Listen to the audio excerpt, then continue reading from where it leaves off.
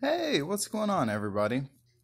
So, I thought this would be a really cool, quick tip to show any of my guitar friends out there. A lot of you probably already know this. Uh, it is a tip to remove these bushing ferrules if you have a Tune-o-matic stop bar tailpiece if you're wanting to change your hardware out. So I've already removed this one.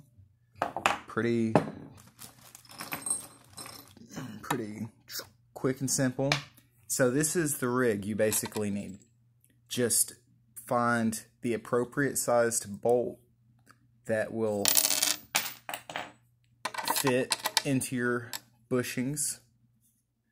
And this is a Korean Epiphone, so this would be metric size versus imperial measurements if you're dealing with a US instrument. So basically, you're going to use that screw to apply pressure to draw up that bushing and our little rig is going to allow us to procure that bushing.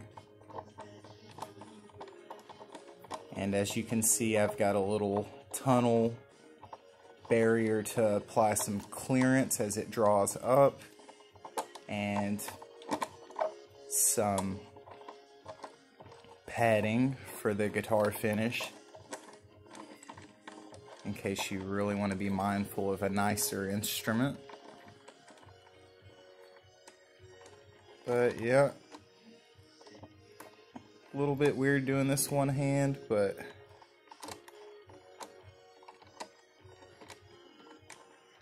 hopefully should yield the same easy result. And of course, this is all over YouTube. You can find this.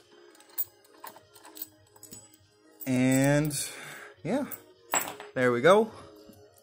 And the intention, which I'm probably to have to hammer those in.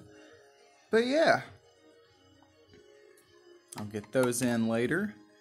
Do the same thing for those. And that's a quick, easy way to swap your hardware for a stop bar Tune-o-matic tailpiece.